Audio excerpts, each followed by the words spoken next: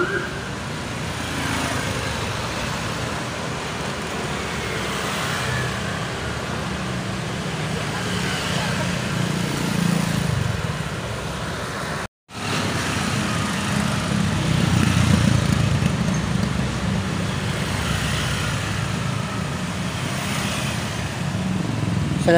pemirsa, selamat malam.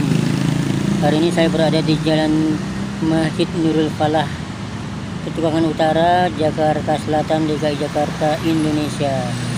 Ini adalah realita kehidupan di Jakarta. Lalu lalang, lalu lintas yang memasuki terowongan atau underpass Jakarta Selatan ini arus lalu lintas nampak ramai lancar sampai bertemu dengan saya kembali di video berikutnya